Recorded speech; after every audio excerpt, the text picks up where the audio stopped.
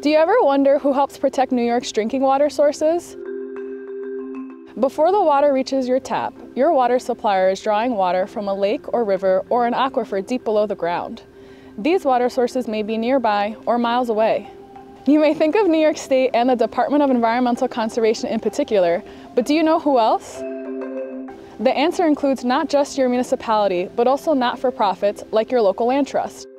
Using their expertise in land conservation and natural resource protection, these entities have been working with DEC through the Water Quality Improvement Project, Land Acquisition for Source Water Protection Program. The mission of the Winnakee Land Trust is to conserve and steward our forests, agricultural lands, and water resources. We also ensure our communities have access to and enjoyment of the natural beauty and bounty of our region now and for generations to come. Resilient forests are one of the best nature-based solutions to improve our region's ecological health, strengthen local economies and communities, and combat the climate crisis and protect our drinking water resources. With this in mind, the WQIP Land Acquisition for Source Water Protection Program was a natural fit for what our Land Trust wanted to accomplish in both forest protection and the drinking water source for Bard College. This award was to protect 335 acres bordering either side of Sawkill Creek in Red Hook, New York. The City of Port Jervis was awarded a $1.8 million grant to protect almost thousand acres of land surrounding our drinking water reservoirs. This drinking water source serves over 9,000 people in the city. Today, you see over 565 acres acquired as part of this grant. The City of Port Jervis and Orange County Land Trust formed this partnership as we both saw the benefit of protecting the drinking water source related to our mission and goals. In addition to the main goal of source water protection, this land will provide the community with recreational opportunities through passive recreational trails.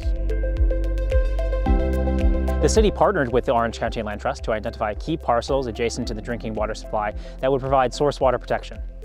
The city and the Orange County Land Trust reviewed the scoring rubric for the land acquisition project type to get an idea of what parcels may be eligible for the program and align with our source water protection goals and we are grateful for the WQIP Land Acquisition Program for funding this acquisition. We filled in for each other's gaps, with the Land Trust bringing its expertise in land acquisition and grant management, and the city bringing its local relationship and administrative skills. We both played a critical role in creating and implementing a successful source water protection project that will benefit the community for many years to come. This project was made possible due to a $400,000 WQIP grant to protect 35 acres of land on Otisco Lake, which provides drinking water to local residents through the Onondaga County Water Authority. The parcel is a mix of forest, wetlands, and open fields with scenic lake views, it's now open to the public as a new county conservation area managed by Onondaga County with a conservation easement held by the Finger Lakes Land Trust.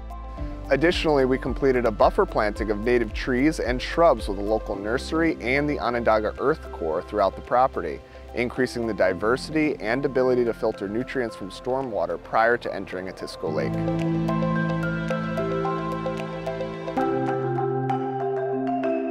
The Western New York Land Conservancy was awarded over $650,000 through the WQIP Land Acquisition Source Water Protection Program. The goal of our project was to acquire a 220 acre forest right in our backyard, what we now call the Mossy Point Preserve. Having clean water to drink is a vital need for all living things. Headwater forests play a very important role in the protection of drinking water. They filter and absorb potential pollutants, reduce flooding damage for landowners and municipalities, and improve water quality. The Western New York Land Conservancy will continue to allow low-impact public access to this property. We will actively manage it to ensure the forest continues to support clean water in the region. We were successful in protecting Mossy Point thanks in large part to the support we received from the Department of Environmental Conservation. Without the grant from the WQIP Land Acquisition for Source Water Protection Program, which covered over half of our project costs, as well as the amazing support of our donors and the local community, we would have been unable to protect Mossy Point. WQIP land acquisition for source water protection provides funds to protect New York's public drinking water supplies. If you would like to learn how to participate in such a program and have a successful project like those you saw here, visit DEC's WQIP land acquisition webpage for more information or contact us.